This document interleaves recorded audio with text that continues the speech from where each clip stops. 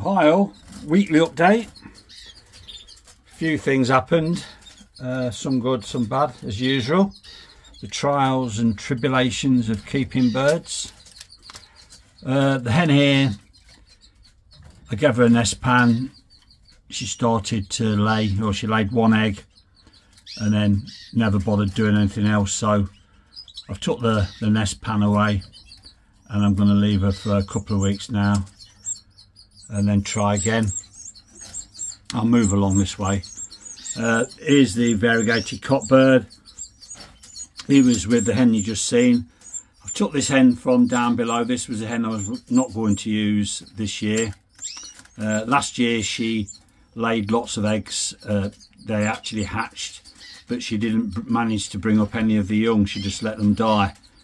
But she's not, I don't think she's in that great nick actually, but they have been mating. It took a while for them to get used to each other and she has built a nest and I say they have been mating so whether we can get anything out of them or not remains to be seen. This pair are still have got five five in there. There he's trying to well, they're trying to go down again. She's actually uh, been mating but I don't particularly I don't want any more out of these one round of five is, is fine. Uh, yeah, they're not the your best pairing. Of course, usually, as always, your best pairing, your best pairings are not doing so well, and the others that you put together because you've got the birds uh, are doing all right. Seems to be always be the case. Here's the hen, which is played played up all the while. Doesn't like any cockbird in there. I did see her mate a few times, and she has laid three eggs. Checked them yesterday. They all look to be clear. So I'll let her sit for a few more days and then I'll probably end up removing them. But uh, yeah whether I'll let her try with another cock I don't know because she's a pain to be honest. Uh, ivory hen and the cockbird down here. The ivory hen is on well she was on four eggs uh, but I caught the cockbird he took an, an egg out and he was on the floor eating it. So down to three eggs and he's now been pushed aside out of the way. Obviously he likes the taste of eggs. So there's something to watch out for. This pair I tried her again. She's the one that had originally she had five eggs and she didn't want to sit. I tried her with an internal nest pan and uh, she made a nest fine. Here's the cockbird in here. And oh, just get this out. Well, you can see that. She laid one normal egg, and I thought, great, we're on, on you know, things are moving on here. And then the second day, she laid an egg which was half the size and blue almost in colour. So I didn't think nothing was going to happen. Like always, the next day, no more eggs. And then the day after, no more eggs. So I've removed the nest and separated them. I'm going to leave them for another week or more, couple of weeks, and then try again. This is going to be the last time. I mean, if we don't work out with them this time, then I, I won't bother. Uh, you know, I was only ever, I only ever want to get about 20 young, and I'm, I'm on the way to getting that now. The hen who's in here, uh, let's have a look. She's, uh, I thought I thought she got two, but actually there's three in the nest. One of them looks like it's a, a couple of days behind the other, the others, even though they're all set at the same time. Uh, it's quite a bit smaller, but she seems to be feeding it okay.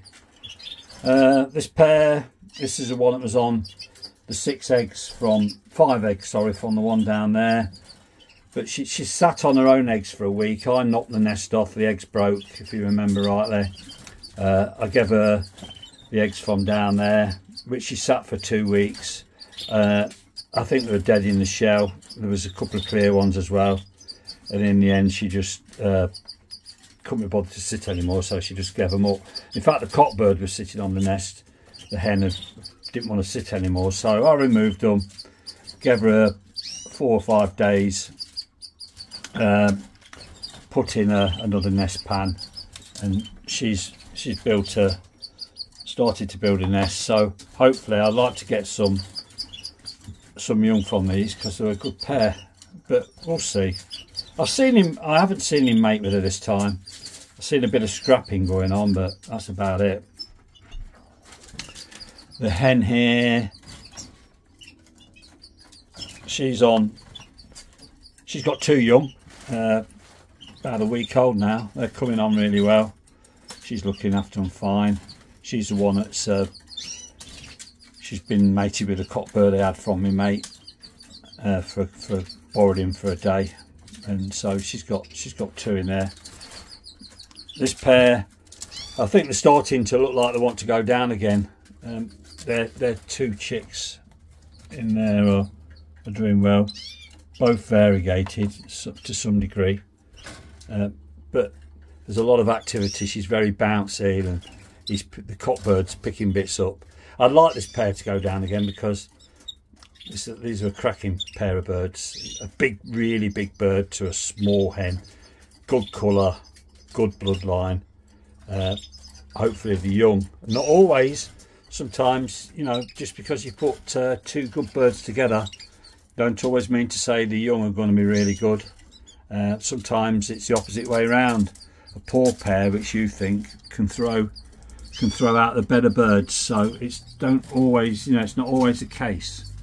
But if I can get uh, if I can get 20 out of these I'll be well happy.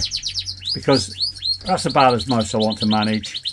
You've got to feed those 20 extra birds. You've got to look after them. Then you've got to try and sort them out then you've got to get rid of them if you don't want them so it can get too much you know it just the, the more young you have and the more birds you have, even though I've got the time to do it, I don't want to be bogged down with uh, with too many birds. And also, if I go away, I've got to rely on other people looking after them. So, 20 young and the ones I've got here will see me through till Christmas time when I can sort them out and get rid of the ones I don't want. So, yeah, that's it for now. Uh, thanks for watching. And uh, yeah, I've just had a look at my stats on uh, YouTube. It looks like 72% of people who watch my videos don't actually subscribe. You know, subscribe uh, doesn't cost anything and it helps the, the channel along. So, you know, if you are watching and you haven't subscribed, please do. Um, it helps, uh, encourages me to try and make more videos. Uh, so yeah, that's it for now and I'll talk to you again probably in about a, a week's time. Thanks for watching. Bye.